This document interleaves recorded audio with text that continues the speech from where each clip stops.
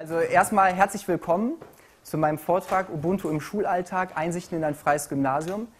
Ja, ein bisschen was zu mir. Mein Name ist Sebastian Seitz. Ich habe äh, Erziehungswissenschaft studiert, bin also Diplompädagoge und hoffe, dass eure IT-Lust auch durch mein pädagogisches Wissen befriedigt werden kann. Legen wir direkt mal los. Ah ja, kurz dazu, das ist also das Katharineum in Lübeck, so ein ähm, altes humanistisches Gymnasium. Und die haben eben Ubuntu bei sich eingeführt. Bisschen was Allgemeines. Also worum geht's? Das ist so der Ablauf. Erstmal, was ist so die grobe Intention dieses Vortrages? Dann zweitens, warum muss es eigentlich freie Software in der Schule sein? Warum geht nicht auch proprietäre? Funktioniert ja auch. Dann alles mal erläutert am Katharineum. Und dann ein paar abschließende Überlegungen zu dem allgemeinen Thema freie Software. So, worum geht es? Ich habe es gerade schon erwähnt, ich bin von Haus aus Pädagoge. Deshalb geht es also hier um die Schnittmenge von Pädagogik und freier Software. Warum braucht man eigentlich freie Software in der Schule? Ja, also proprietäre funktioniert auch. Es gibt genug Lehrer, die sagen, und auch Eltern, die sagen, meine Kinder sollen in der Schule das lernen, was später in der Wirtschaft benutzt wird. Das ist zum Beispiel Office, MS Office, und da brauchen die sich nicht mit anderer freier Software zu beschäftigen.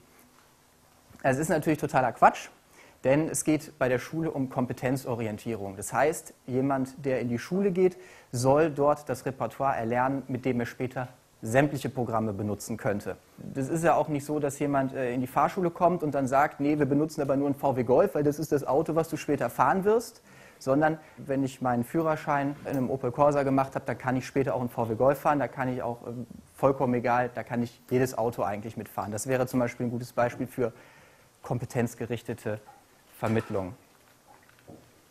Also, freie Software hat zudem den Vorteil, sie ist sozial. Sie ist kostenlos verfügbar.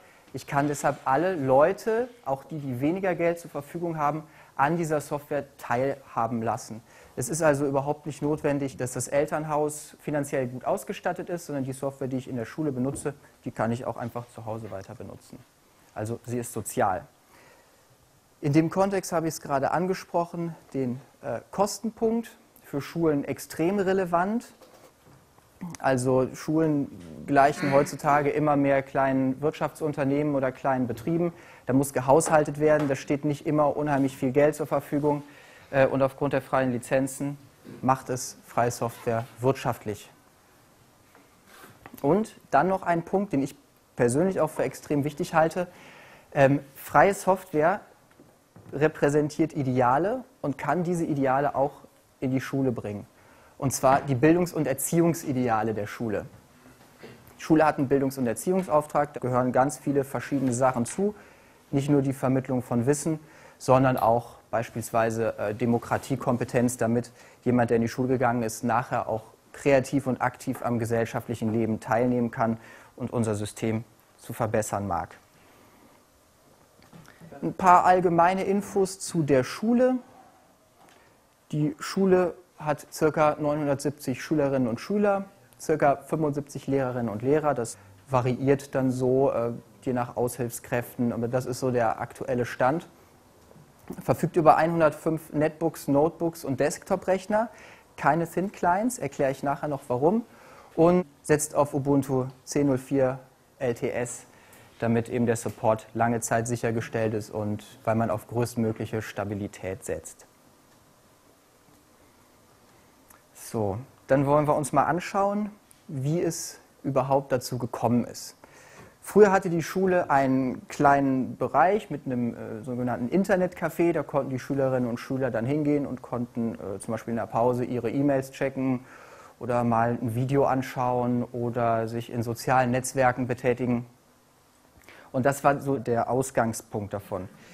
Dieses Internetcafé funktionierte mit einer Terminal-Server-Lösung auf Linux-Basis. Das war so dieser erste Punkt, wo Linux in der Schule genutzt wurde. Allerdings nicht in einem didaktischen Kontext, sondern eher um den Schülern eben einfach den Zugang zum Internet zu ermöglichen. Und zum gleichen Zeitpunkt lief Windows auf allen anderen Arbeitsplätzen, die in der Schule äh, verfügbar waren, zum Beispiel im Erdkunderaum oder im Informatikraum. Das funktionierte auch alles soweit ganz gut. Und das äh, lief ja mit dem Abgleich einer Musterinstallation. Das heißt, man hat den Rechner hochgefahren und dann hat dieser Rechner sich erst mit einem Image abgeglichen. Und das kann man sich vorstellen, wenn eine Unterrichtsstunde 45 Minuten dauert, bis die Schüler dann alle ruhig sind und sitzen, dann dauert das mal fünf Minuten. Bis dann alle Rechner hochgefahren sind, sind nochmal fünf bis zehn Minuten vergangen. Und es war relativ langsam und etwas schwerfällig. Aber es hat funktioniert. Die Lernprozesse konnten trotzdem problemlos stattfinden. Weshalb man sich fragen muss, warum Linux? Wenn es doch vorher gut funktioniert hat, wenn die Schüler doch gut vorbereitet waren auf das, was sie später an der Uni erwartet oder was sie später in der Ausbildung oder im späteren Berufsleben erwartet, warum muss es dann unbedingt Linux sein? Dazu möchte ich jemanden zitieren, und zwar den Herbert Reckmann. Der hat mal einen interessanten Artikel äh, im Login-Magazin geschrieben. Das ist, äh, ich weiß nicht, ob es einige kennen, so ein Magazin für den Informatikunterricht. Und der Herr Reckmann sagt, um die pädagogische Relevanz freier Software zu analysieren, reicht es nicht aus, die Einsatzbereiche von Desktop, Einzelarbeitsplätzen oder den PCs in der Medienecke eines Klassenraums zu betrachten. Wichtig ist auch der Blick auf das organisatorische Gesamtsystem der Einzelschule. Und das ist eigentlich der, der Knackpunkt. Während es früher so war, dass man gesagt hat, gut, mit einem Computer, da kann man einfach viel besser mit lernen. Deshalb stellen wir jetzt in jeden Klassenraum fünf Computer und dann äh, haben die Schüler automatisch bessere Noten. Das hat man dann irgendwann mal verworfen. Sondern interessant ist, wie funktioniert eigentlich das gesamtpädagogische Konzept der Schule und wie bin ich in der Lage, IT-Entwicklung als Teil der Schulentwicklung zu betreiben. Und das ist gar nicht so einfach. Also entschied sich der IT-Koordinator für Linux und zwar aus folgenden Gründen. Erstens administrative Vorteile. Mittlerweile ist es extrem einfach geworden, Drucker einzurichten, Software auf den jeweiligen Arbeitsplätzen einzurichten. Es ist ähm, deutlich schneller, die PCs booten auch deutlich schneller, sodass schneller mit dem Unterricht begonnen werden kann. Dann natürlich Unabhängigkeit von Global Players.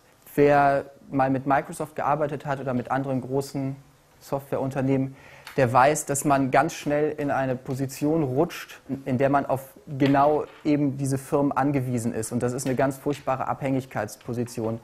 Ich möchte es mal an einem Beispiel verdeutlichen. Also diese Schule hat einen, einen Haushalt von 40.000 Euro im Jahr. Der wird von der Stadt Lübeck zur Verfügung gestellt. Zusätzlich verfügen die aber noch über eine ziemlich gute Elterngemeinschaft, ziemlich gut angebunden an die Eltern, sodass dann über so Förderprogramm nochmal 40.000 Euro im Jahr reinkommen. Das ist also eine wirklich gut ausgestattete Schule. Nun kostet aber die aktuelle Lizenz für Windows 7 plus MS Office diese Schule 10.000 Euro. So, die Stadt Lübeck hat eine Haushaltssperre verhängt. Das heißt, eine normale Schule hätte gar kein Geld. Die haben zum Glück noch 40.000 Euro, aber man sieht, wir haben einmal diese 10.000 Euro, die schon 25 Prozent des Etats der Schule einnehmen und die man in viel bessere andere Dinge wie Lehrerfortbildung oder äh, besseres Unterrichtsmaterial investieren könnte. Und davon hat sich diese Schule damit freigemacht. Dann die höhere Anpassungsfähigkeit. Klar, durch die äh, Freilegung des Source Codes sind also spezielle Anpassungen deutlich einfacher möglich und man ist wesentlich flexibler, wenn es beispielsweise um äh, Raumgestaltung oder ähnliche Dinge geht. Da sind auch noch ein paar Sachen in Planung, sage ich aber später was zu, sonst nehme ich hier ein bisschen zu viel vorweg auf Dauer kostengünstiger. Warum auf Dauer? Jetzt arbeitet die Schule noch parallel mit einer Windows-Lizenz. Allerdings ist auf keinem der Rechner Windows installiert. Die haben diese Lizenz noch von dem Zeitpunkt vor der Umstellung, vor der Migration auf Ubuntu und haben diese Lizenz einzig und allein aus Sicherheitsgründen behalten, damit sie sagen können, okay, wenn irgendwas mal nicht, nicht klappt, dann haben wir immer noch die Möglichkeit, zu unserem altbewährten altbewährten System zurückzukehren und haben so eine Art äh, Rücklage, ähm, sodass es jetzt an dieser Schule noch keine Kosteneinsparungen gibt. Das ist also noch nicht billiger geworden. Aber wenn die Lehrerschaft und der Direktor und die, die äh, Elternvertreter entscheiden, dass man nun komplett bei Ubuntu bleibt, dann lässt man diese Lizenz einfach auslaufen und dann würde sozusagen die Kosteneinsparung in dem Moment passieren, wo normalerweise eine neue Lizenz gekauft werden würde. Deshalb auf Dauer, aber jetzt eben noch nicht. Ganz großer Knackpunkt. Sicherheitsaspekte bei Schulen, die mit sensiblen Schülerdaten umgehen. Äh, beispielsweise gibt es ja auch Jugendhilfe an Schulen. Das heißt zum Beispiel können Schüler, die äh, Probleme mit äh, zum Beispiel eine Leserechtschreibschwäche haben, Legasthenie, Dyskalkulie, was auch immer, ähm, werden natürlich an Schulen gefördert. Das heißt, es, es, entstehen auch Datensätze über solche Schüler, wo dann drin vermerkt ist, wie die Entwicklung ist. Es sind natürlich hochsensible Daten, die dürfen nicht an die Öffentlichkeit gelangen. Und wenn man sich mit manchen Direktoren unterhält oder mit Leuten, die für die IT an Schulen zuständig sind, die dann äh, Windows benutzen, dann läuft es einem manchmal kalt den Rücken herunter, wie da mit Sicherheitsaspekten umgegangen wird. Das war also ein ganz entscheidender Punkt an dieser Schule. Ja, das sind jetzt alles gute Gründe, warum man Linux benutzen sollte oder warum äh, diese Schule Linux benutzt oder freie Software auch im Allgemeinen. Aber warum ist es dann Ubuntu geworden? Warum hat man nicht irgendeine andere Distribution genutzt? Dafür gab es mehrere Gründe. Einmal die turnusmäßigen Updates waren also ein großer Punkt, dass man gesagt hat, wir brauchen im Prinzip eine Distribution, bei der wir uns darauf verlassen können, dass in regelmäßigen Abständen Updates zur Verfügung gestellt werden und bei dem wir einen starken sozusagen Player im Background haben. In dem Fall wäre das dann Canonical, also turnusmäßige Updates. Dann ist man sozusagen den Schülern entgegengekommen. Die Oberfläche ist benutzerfreundlich und spricht die Schüler an. Zu dem Zeitpunkt war das noch GNOME, ist es jetzt auch noch. Wie das sein wird, wenn dann Unity kommt, ist noch ähm, nicht klar. Ich habe mit dem IT-Entwickler von der Schule gesprochen. Er weiß es jetzt auch noch nicht, weil auch noch nicht klar ist, ob jetzt zur nächsten LTS-Version ein Update gemacht wird oder ob man noch diese Version beibehält, bis alle Faktoren, die man in diesem pädagogischen Gesamtsystem haben will, eingepflegt sind. Aber es wird erstmal so bleiben. Ähm, hierbei ist ganz interessant, dass es für die Schüler also äh, eine ganz große Sache ist, dass sie äh, Compass benutzen können. Das kann dann auch ganz individualisiert gestaltet werden und dann sitzt man dann da im Unterricht und die Würfel rotieren in der Gegend rum und das finden äh, ja, gerade die Jüngeren natürlich super toll. Und der vermutlich wichtigste Punkt, die Arbeit in einer sehr aktiven Community, die bei Ubuntu, wie wir wahrscheinlich alle wissen, recht einzigartig ist. Also da hat man äh, viele Foren, bei denen man Support erhält, super Möglichkeiten, sich auszutauschen und vor allen Dingen auch für äh, Einsteiger gute Möglichkeiten. Und davon ausgehend entwickeln sich dann unterrichtsrelevante Aspekte. Und da ist speziell der Community-Gedanke eine ganz wichtige Sache. Um das Ganze auch ein bisschen pädagogisch aufzuziehen, gibt es eine Computer AG und diese Computer AG verwaltet das komplette Netzwerk zusammen mit diesem äh, Informatiklehrer. Das heißt, die haben auch ähm, Einsicht in dieses große Netzwerk und können da entsprechende Skripte schreiben und machen sie auch. Und diese Community-Arbeit vermittelt einen entscheidenden Punkt, den ich vorhin einmal kurz angesprochen habe, nämlich Demokratiekompetenz. Das steht äh, auch so in vielen Lehrplänen und im Bildungs- und Erziehungsauftrag kann man das auch oft erkennen. Es geht also darum, wie bringe ich mich in unsere Gesellschaft ein, äh, was bedeutet Mitspracherecht, wie kann ich bestimmte Entscheidungen, bestimmte Entwicklungen beeinflussen. Ähm, und genau dieser Part, mit dem Schulen auch unheimlich oft in ihrem pädagogischen Profil werben, wenn man auf eine Schulwebseite guckt, kann immer häufig auf so ein pädagogisches Profil klicken. Dann steht dann ja, wir sind offen, wir machen äh, offene Unterrichtsstrukturen, Mitspracherecht der Schüler, wir haben Schülervertretungen, sehr demokratisch gestaltet. Und genau das wird eben über diese Community-Arbeit auch vermittelt. Und das äh, ist auch ein Thema im, im Unterricht selbst. Ich habe es gerade eben gesagt, freie Software wird selbst zum Thema. Für viele ist ja diese Software-Sache etwas, was nur in den Informatikunterricht gehört. Freie Software, ja, dann sagt man häufig, ja, das ist, äh, geht dann weit über das Produktwissen hinaus. Die Schüler können sich den Source Code angucken, die können da vielleicht Sachen drin verändern, aber ähm, das ist natürlich eine Sache, die sich wirklich nur auf den Informatikunterricht beschränkt und da auch nur eine sehr kleine Gruppe an Schülern anspricht. Wer, wer selber Kinder hat oder sich an seine Schulzeit zurückerinnert, ähm, der weiß, auch wenn man freie Software benutzt, sitzt man nicht im Deutschunterricht und öffnet dann OpenOffice und spielt am Source Code rum, um zu gucken, was sich da verändert. Das macht natürlich niemand. Aber man kann freie Software als Philosophie thematisieren. Das heißt, freie Software passt nicht nur in den Informatikunterricht, sondern freie Software passt auch in den Sozialwissenschaftsunterricht, in den Politikunterricht, in den Philosophieunterricht rein.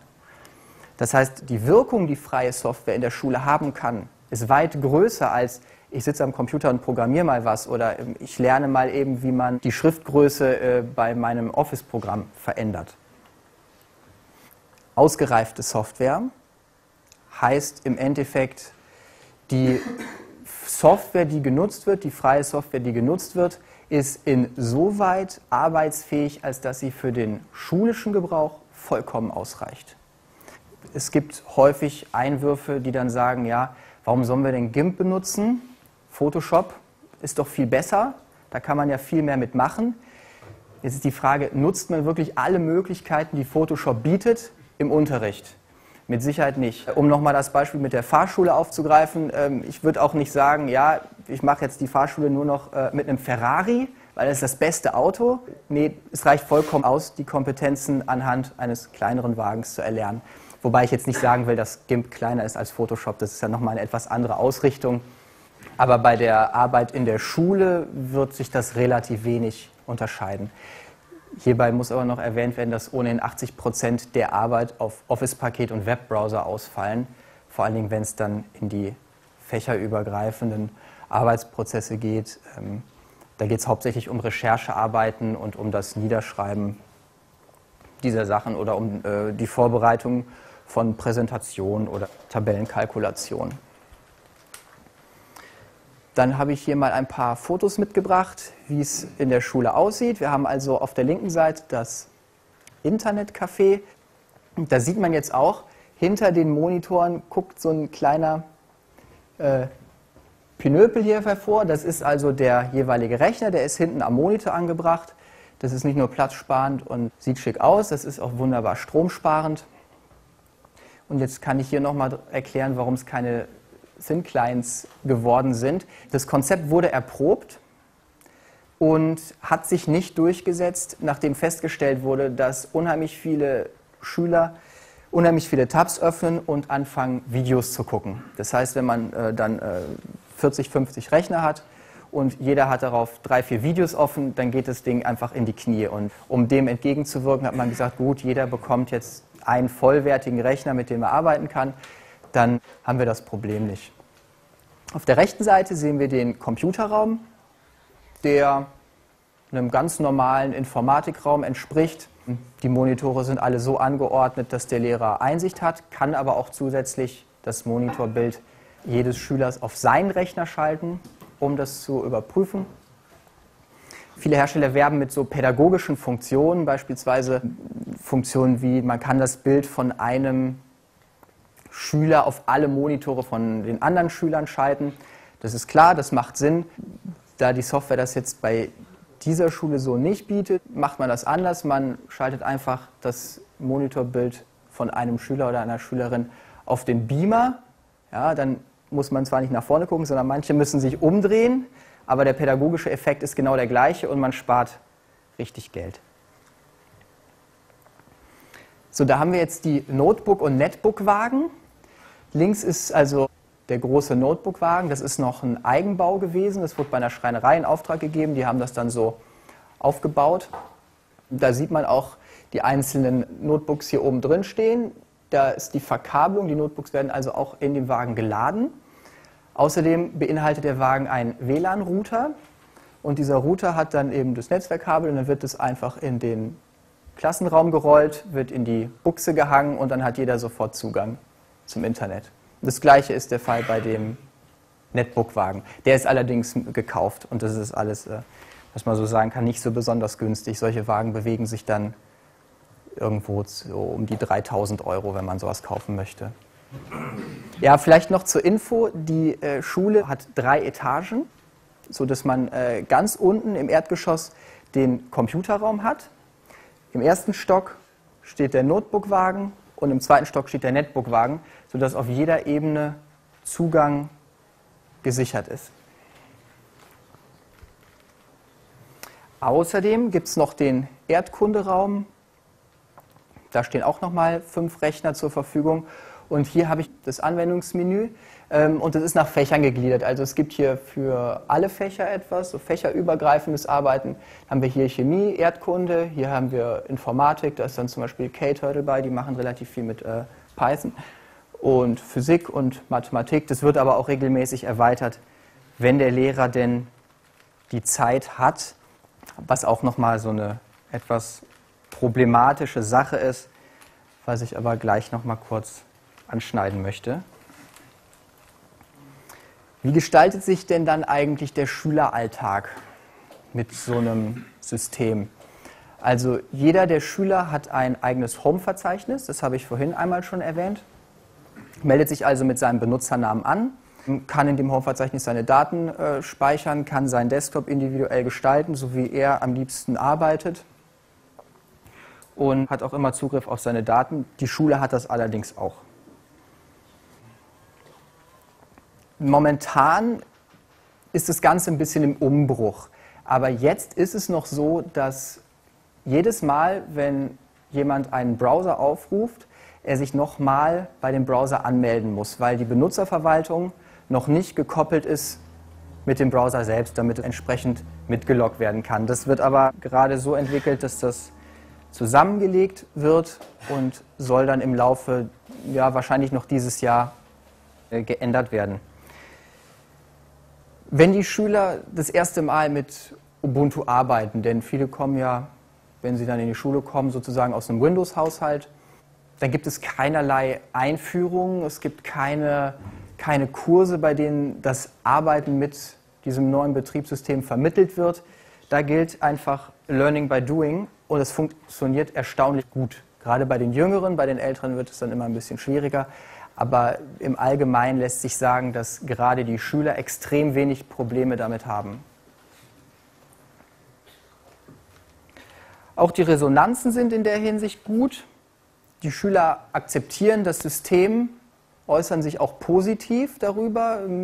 Laut IT-Koordinator kommen regelmäßig Schüler zu ihm und sagen, hey, wie ist das denn, dieses System, kann ich das auch zu Hause benutzen, welche Möglichkeiten gibt es? Und der liefert dann sozusagen noch Support, macht ein bisschen Werbung für Ubuntu und sorgt dafür, dass das Ganze noch, sich noch etwas weiter verbreitet. Also die Schüler, könnte man sagen, vielleicht ist akzeptieren noch nicht mal genau das richtige Wort, sie nehmen es hin. Sie nehmen es hin, manche akzeptieren es, vielleicht tolerieren es auch viele und manche finden es dann noch richtig gut.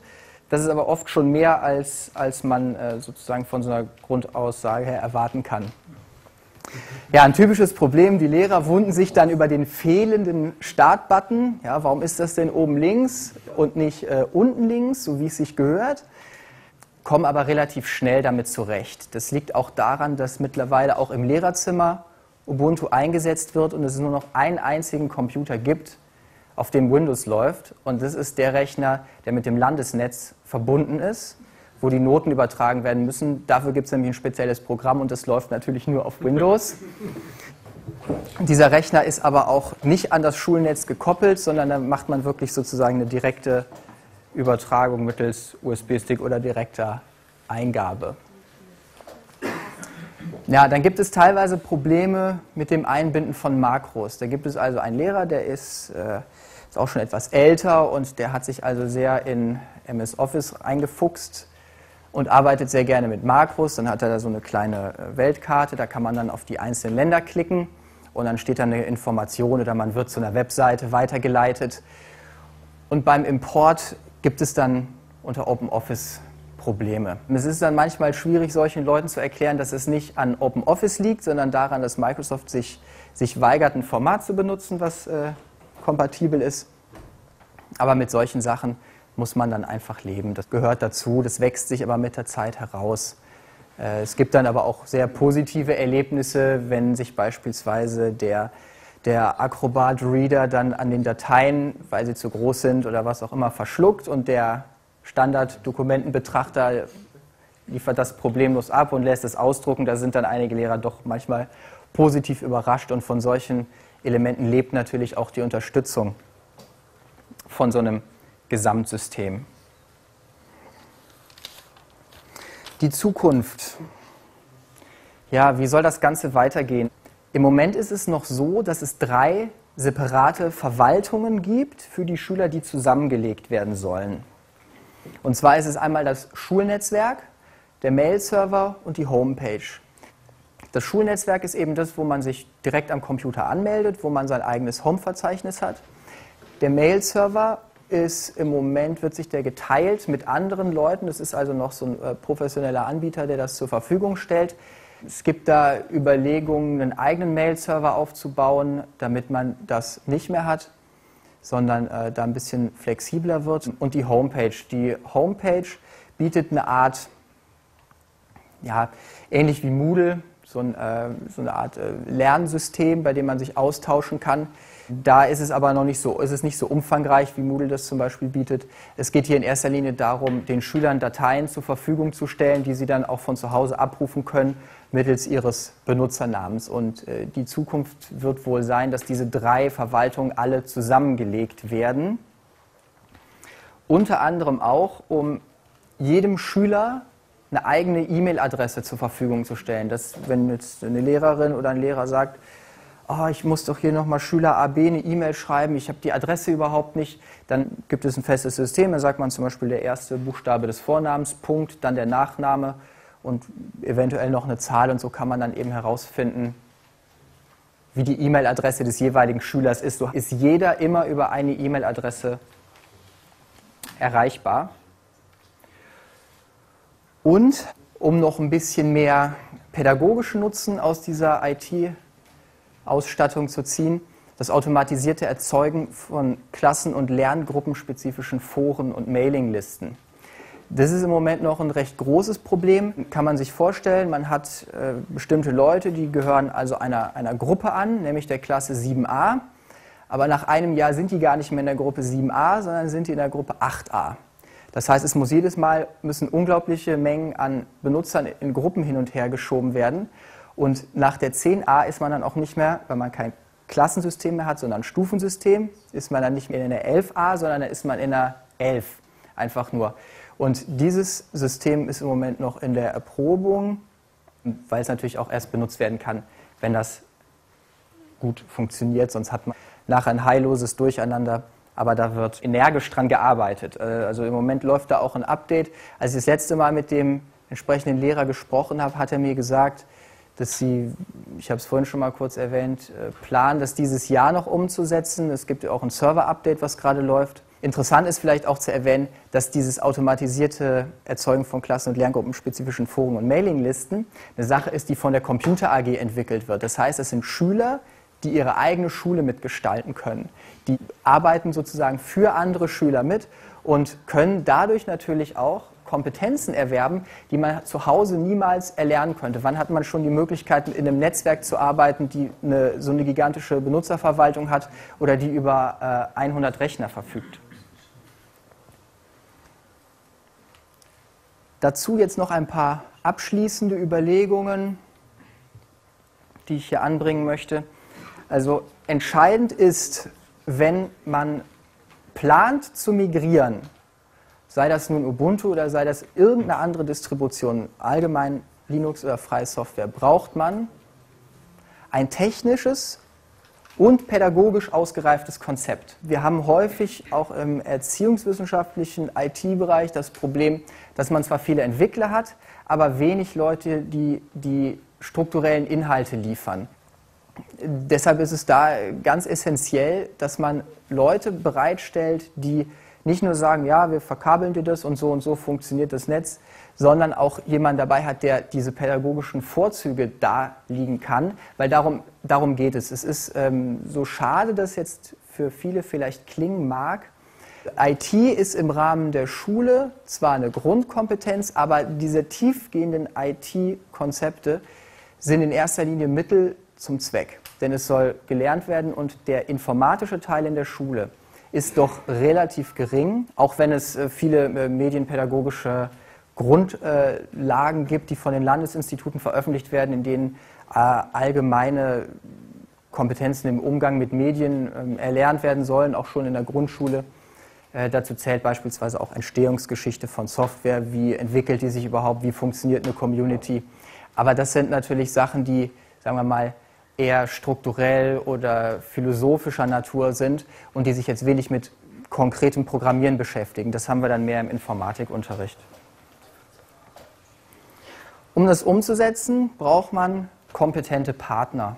Das heißt, es gibt wenig Schulen, die es schaffen, ein IT-Konzept so umzusetzen, dass die Lehrerin oder der Lehrer, der das betreut, mit der Zeit auskommt, die er von anderem Unterricht freigestellt wird. Das liegt je nach Bundesland und je nach Schule zwischen zwei und vier Unterrichtsstunden in der Woche, die man freigestellt werden kann, um so ein Netzwerk zu verwalten.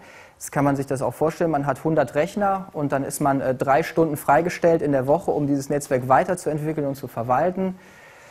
Da wird es eng. An Berufsschulen ist es ein bisschen anders. Die haben teilweise eigene Admins, die dann eine halbe Stelle haben um genau solche Sachen umzusetzen.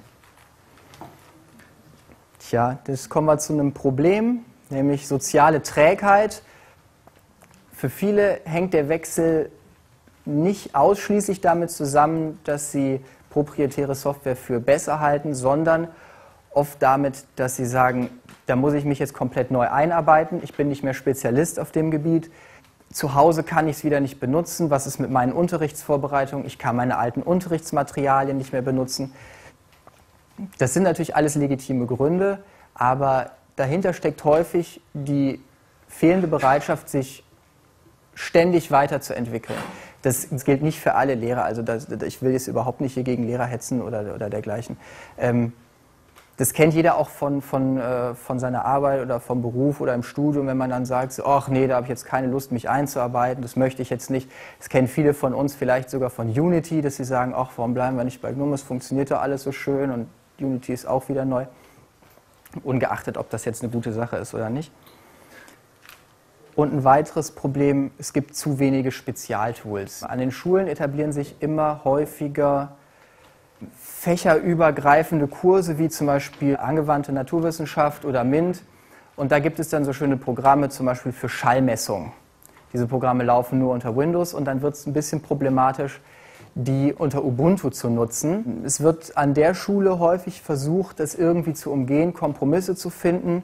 Das kann beispielsweise in die Richtung gehen, dass man sagt, okay, ähm, die Nutzung dieses Schallmesstools ähm, soll bestimmte Kompetenzen vermitteln. Wie kann ich den Unterricht so umgestalten, dass ich nicht dieses Tool brauche, um diese eine Kompetenz zu vermitteln? Es gibt da ja häufig mehrere Wege, um eben genau das zu erreichen.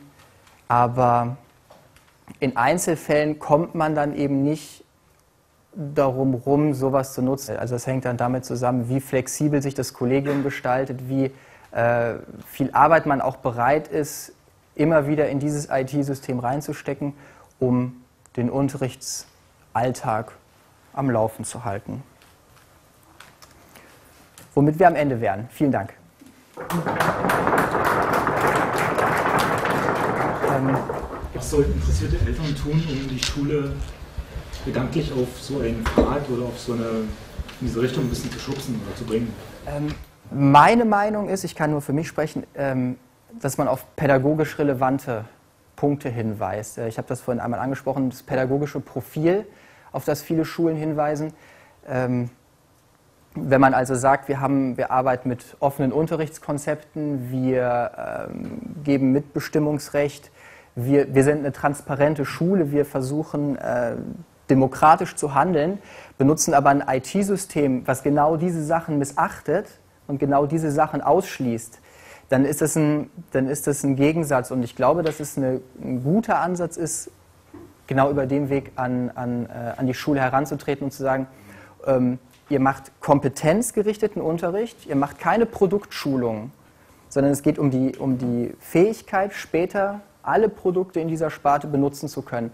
Und äh, gerade bei freier Software hat man natürlich unheimlich viele Möglichkeiten. Also bei Textverarbeitung, ob ich jetzt OpenOffice nehme, LibreOffice oder von mir aus auch AbiWord, was in der Schule wahrscheinlich auch reichen würde, ähm, dann denke ich zumindest, dass das eine gute Möglichkeit ist, dass eine gute Möglichkeit ist, einen Zugang dazu zu finden. Aber ähm, ist dann halt auch die Frage, wie, wie flexibel die kollegialen Strukturen da in der Schule sind. Das ist dann auch von Schule zu Schule unterschiedlich.